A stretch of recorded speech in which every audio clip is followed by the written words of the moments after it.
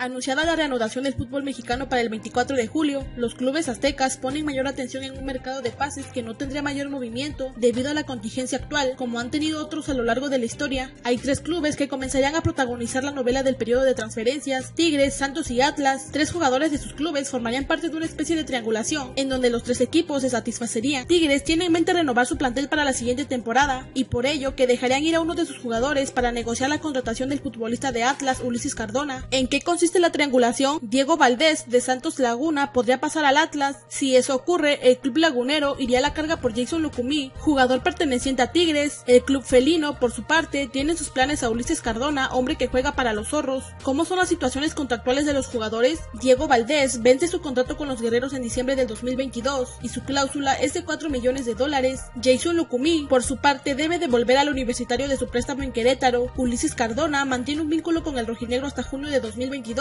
y su valor de compra ronda los 600 mil dólares. Así las cosas, las próximas semanas podrían ser trascendentales para una definición final sobre el futuro de los jugadores en los tres equipos de la Liga MX. El mercado de fichajes en la Liga MX iniciará el próximo 14 de junio y finalizará hasta 5 de septiembre, por lo que todos los equipos tienen más de un mes para negociar y comprar jugadores nacionales y extranjeros.